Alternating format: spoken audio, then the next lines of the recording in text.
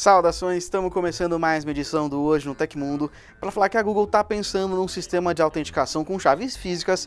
Tem também o Mark Zuckerberg pedindo desculpas porque ele sabe que o Facebook às vezes divide as pessoas, a treta é geral, entre outros destaques. E olha só, se você quer receber mais vídeos recomendados como esse aqui, Hoje no Tecmundo, lembra de deixar o seu joinha, o YouTube considera bastante joinha. Então, se você já conhece a gente, já senta o dedo nesse like. Se você não conhece, então a gente espera que você goste e deixe o seu like se você gostar. Aproveite e se inscreve no canal se ainda não é inscrito e clica no sininho para receber uma notificação sempre que a gente mandar um conteúdo novo. Claro, fica ligado para te ficar atualizado.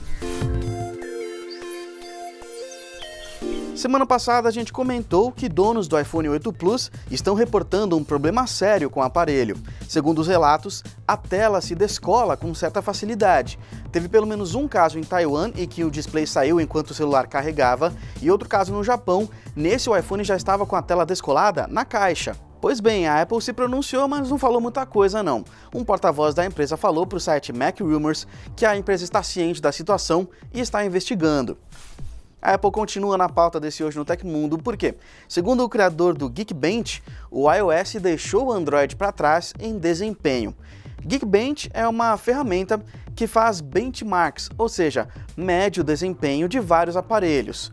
E o criador desse serviço, o John Poole, comentou que, abre aspas, foi ele que falou, a performance tem parecido estagnar do lado do Android, onde você não vê esses grandes saltos para a frente.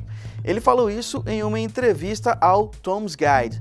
No Geekbench 4, o iPhone 8 conseguiu uma pontuação de 10.170 com o A11 Bionic. Já o Galaxy Note 8, um dos aparelhos Android mais poderosos da atualidade, fez 6.564 pontos.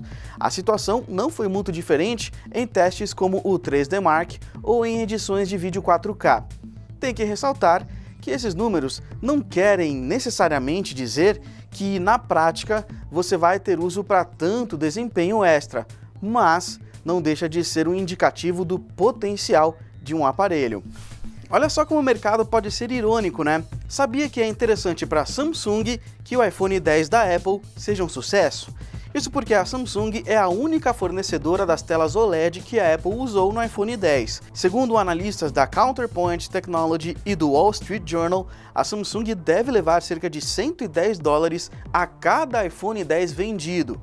Junta isso a outros componentes que algumas subsidiárias da Samsung fazem e também estão no, no, aparelho, a empresa deve lucrar 4 bilhões de dólares mais do que ela conseguiu com as vendas do seu próprio Galaxy S8. Veja só como são as coisas. Um grupo conseguiu piratear jogos do PlayStation 4, mas é um processo complicado. Membros do Knights of the Fallen conseguiram fazer com que games como GTA V, Far Cry 4 e Assassin's Creed 4 rodassem no console sem uma cópia original.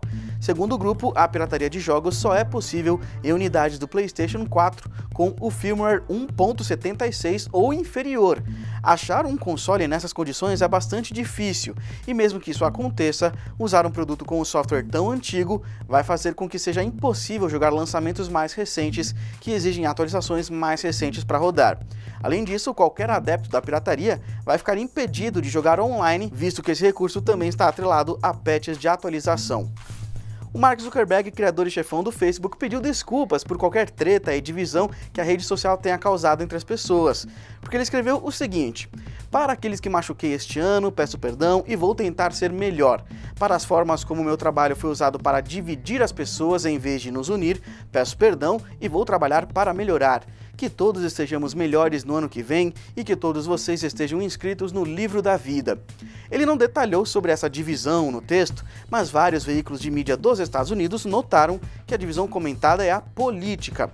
É notório que, após a massificação do Facebook, sociedades em diversas partes do mundo acabaram acirrando as diferenças políticas e as eleições nos Estados Unidos em 2016 foram um baita exemplo disso. Seguindo esse hoje no Tecmundo, a Google trabalha em uma nova autenticação com chaves físicas contra cyberataques. De acordo com a Bloomberg, a preocupação é com os usuários como executivos de grandes empresas, celebridades e políticos, ou seja, pessoas com visibilidade pública.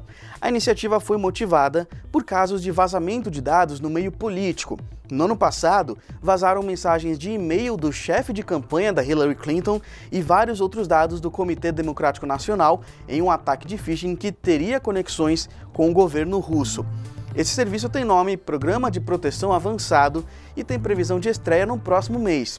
Ele tem recursos de software como bloqueio de aplicações de terceiros e a autenticação em dois fatores deve ser substituída por chaves físicas, uma delas em formato USB.